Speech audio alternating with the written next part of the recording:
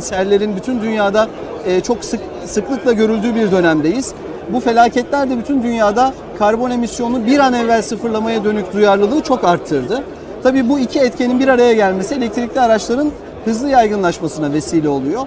10 yıl içerisinde dünyada satılan araçların yarıdan fazlasının elektrikli olacağını öngörüyor. Ki Avrupa Bütün Birliği'nin dünya. bu konuda bir kararı Avrupa da var, Birliği 2035. daha bu hafta içerisinde işte benzinli ve dizel araçları 2035'te yasaklamaya dönük bir adım da atmış oldu. Bu adımların önümüzdeki dönemde bütün dünyada devam edeceğini öngörüyoruz. Dolayısıyla elektrikli araç devrimi bu sektörün büyük e, değişimlerine vesile olacak bir devrim olarak önümüzde duruyor.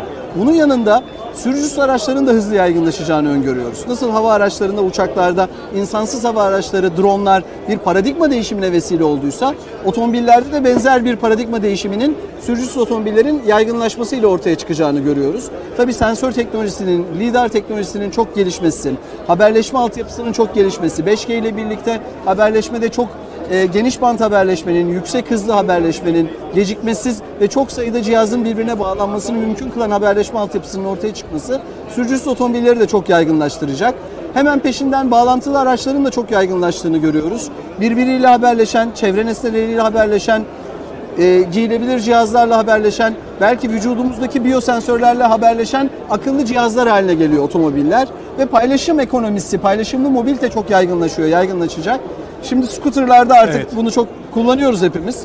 İşte bir scooter'ı doğrudan satın almak yerine bir scooter havuzuna üye oluyoruz ve bunu kullanmaya başlıyoruz. Otomobillerde de benzer bir dönüşüm ortaya çıkacak. Bütün dünya bunu öngörüyor ve bu dört büyük devrimin önümüzdeki 10 yıl içerisinde eş zamanlı gerçekleşeceğini öngörüyoruz. İşte TOG bütün bu devrimlerde Türkiye'nin lokomotifi olacak bir akıllı cihaz markası olarak yola çıkıyor. Şimdi savunma sanayinde hep diyorduk ki bugüne kadar kaçırdıklarımız var ama artık arayı kapattık, yakaladık, yakalıyoruz diyorduk. Ee, araç otomotiv kısmına baktığımızda TOG'la birlikte kaçırdıklarımızı yakalamış olduk mu? Ee, böyle ümit ediyoruz. Ama daha çok yolumuz var. Daha yolun başındayız. Ee, bunun farkında olmamız lazım. Bugüne kadar gelinen nokta evet büyük bir başarı. Sayın Cumhurbaşkanımız Başbakanlığı döneminde zannediyorum 2011 e, yılında artık yerli marka otomobilimizi yapmalıyız dediğinde maalesef bu iddiası iş dünyası tarafından çok güçlü şekilde sahiplenilmedi. Ben çok iyi hatırlıyorum. Evet. İşte sizlerin e, televizyon programlarında bu iddianın gerçekçi olmadığını, hayal niteliğinde olduğunu iddia eden büyük iş insanlarımız dahi oldu maalesef. Halbuki aynı yıllarda elektrikli otomobilleri yapmaya başlayan bazı markalar şimdi dünyanın en büyük otomobil markaları oldular. Biz keşke o dönemde daha erken yol alabilseydik. Keşke devrim otomobili vaktiyle yol alabilseydi. Ama şimdi iyi ki TOG var diyoruz. İyi ki TOG'la yola çıkıyoruz. Nihayetinde işte 2018 yılında TOG e, artık baba yiğitler olarak tarif ettiğimiz iş insanlarının bir araya gelmesiyle, kamunun da teşvikleriyle, destekleriyle yoluna çıkmış oldu. 2019 yılının Aralık ayında ilk TOG araçları e, tasarımları kamuoyuyla paylaşıldı. 2020 yılının Temmuz ayında fabrikada inşaata başlama töreni yaptık. Sayın Cumhurbaşkanımızın katılımıyla ilk temeli attık. Binden fazla emekçimiz bu fabrikanın 2 yıl içerisinde üretime hazır hale gelmesi için pandemi şartlarında alın teri döktüler. Kendilerine minnettarız. Ve nihayetinde 2022 yılının 29 Ekim'inde seri üretim TOG araçlarını banttan indiriyoruz. Arayı kapatmak için daha hızlı, daha çok çalışmaya gayret ediyoruz. Bundan sonra yapacak işlerimiz var. TOG sadece Türkiye'de değil, dünyada bir marka olmak zorunda. Sadece Türkiye'de markalaşarak küresel bir iddia taşıması mümkün değil bu aracı. Dünya markası olabilmek adına hep teknolojide önce olmak zorunda. Az önce sıraladığım tüm teknoloji modlarında TOG'un önce olma misyonu olmalı. TOG elektrikli araçlarda batarya teknolojilerinde lider olmalı. İşte hemen bu fabrikanın yanında bir batarya hücre fabrikası kuruluyor. Hem üretim hem ARGE faaliyetleri yürütülecek. TOG şarj istasyonları konusunda lider olmalı. TOG sürücüsüz otomobil teknolojileri konusunda lider olmalı. TOG bağlantılı araç teknolojilerinde lider olmalı. Bütün bu teknoloji eksenlerinde liderliğe oynayabilirsek biz bir dünya markasını ortaya çıkarabiliriz. Bu liderlik nasıl olacak? Kamunun, özel sektörün yanında olmasıyla mümkün olacak. TOG'un bu çabalarında startuplarla birlikte hareket etmesiyle, tedarikçilerini de geliştirmesiyle mümkün olacak. Hali hazırda işte 20'ye yakın startupla doğrudan çalışıyor. 80'den fazla yerli tedarikçiyle TOG doğrudan çalışıyor. Bütün bu tedarikçilerle TOG birlikte yol almalı. Biz de kamu tarafında onu en güçlü şekilde desteklemeliyiz. Siyasi irade bu işlerin arkasında durmaya devam ederse bu işler ancak başarılı olur. Çok önemli bir eşikteyiz, çok önemli bir başlangıç noktasındayız ama hedefe varmak için daha gidecek çok yolumuz var. Ki devrim arabası da yanı başımızda. Aslında e, devrimde yaşadıklarımız e, bahsettiğiniz o siyasi desteğinde ne kadar önemli olduğunun aslında bir göstergesi. Bugün o da burada konuk. E, TOG'un hemen yanı başında duruyor. Devrim için neler söylemek istersiniz? Evet tabii 60 yıl öncesinde e, çok kısa bir zaman içerisinde, 4 ay gibi kısa bir zaman içerisinde kendilerine Türkiye kendi otomobilini yapmalı diyen iradeye en hızlı şekilde cevap verebilmek adına alın teri, akıl teri dökmüş mühendislerimizin eseridir devrim. Ama maalesef akaryakıtı eksik konulduğu için yoluna devam edememiş. Yoluna devam edemeyen araca ertesi gün kendi medyamız tarafından e, alay konusu edilerek başlıklar, manşetler atılmış. Maalesef o günkü toplumumuz, o günkü siyasi irade de bu yolculuğa sahip çıkmak konusunda yeter yeterince istekli davranmamış. Nihayetinde Türkiye evet yoluna bu sektörde başka yöntemlerle devam etmiş. Bugün büyük bir kapasitemiz var. 2 milyona yakın araç üretiliyor Türkiye'de yıllık. Böyle bir kapasite var. Çok sayıda dünya markası Türkiye'de üretim yapıyor. 200'e yakın tedarikçimiz var bu dünya markalarıyla çalışan.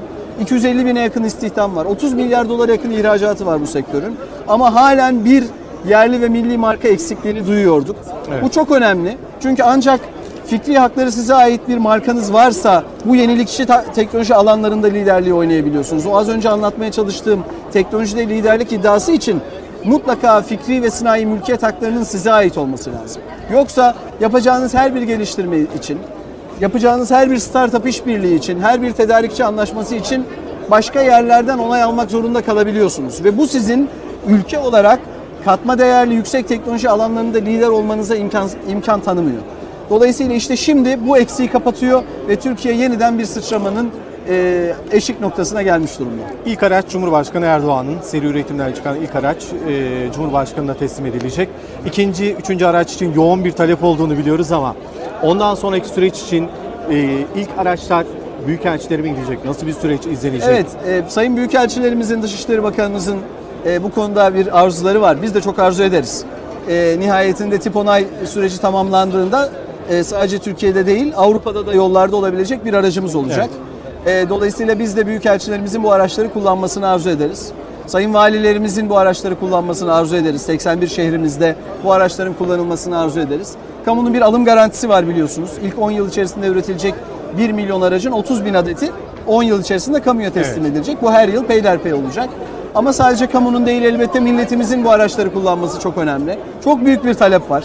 Ee, milletimizin tüm fertleri çok heyecanlı bu konuda.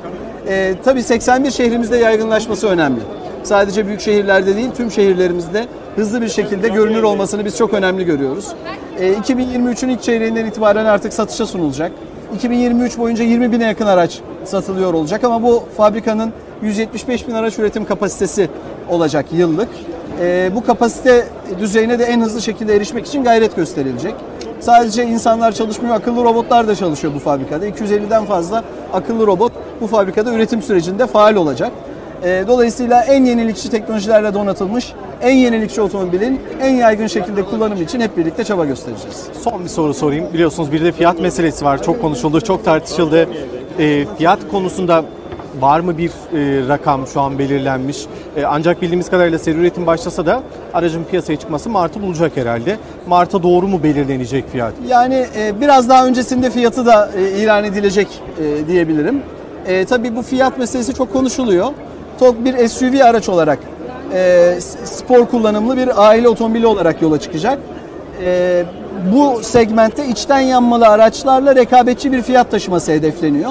E, bu hedefe de erişi- erişiliyor olacak. Dolayısıyla TOG'un erişilebilir, yaygın kullanılan bir araç olarak e, yollarda ol- olmasını sağlayacak bir fiyat düzeyi taşımasını öngörüyoruz.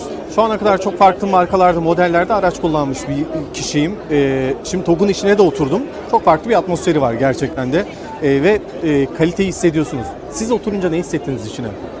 Tabii bize ait olmasının verdiği bir gururu hissediyoruz. Ee, alın teriyle, akıl teriyle Türk mühendisleri tarafından geliştirilmesinin, üretilmesinin verdiği onuru hissediyoruz. Ama aynı zamanda gerçekten alanında dünyanın en iyisi olma iddiası taşıyacak bir otomobilin konforunu, rahatlığını, huzurunu da hissediyoruz. Ben e, inşallah milletimize hayırlı olur diyorum. E, Türkiye bu alanda daha yapacak çok işe sahip. Türkiye yüksek teknolojide Allah'ın izniyle dünyada bir numara olacak ürünler, sistemler geliştirme kabiliyetine sahip. TOG bir öncü marka. Türkiye'nin milli teknoloji şampiyonlarından biri olarak yola çıkıyor. Ama çok sektörde yapacak çok işimiz var. Çok teşekkür ediyoruz yayınımıza konuk oldunuz. Sağ olun. Evet canlı yayında Mehmet Fatih Kacır e, Sanayi ve Teknoloji Bakan Yardımcısını ağırladık. Tabii arkamızdaki kalabalığı da görüyorsunuz çünkü arkamızda devrimle TOG yan yana ve buraya gelen misafirlerin de yoğun bir ilgisi var. Ee, sabahtan bu yana ardı ardına bu alanda yoğun bir fotoğraf çekiliyor. Herkes TOG'u görüntülemek, TOG'la bir e, kare çekinmek istiyorlar. E, tabii bize e, en azından yayına e, o anları da e, aktarmış olduk diyelim ve sözü size bırakalım.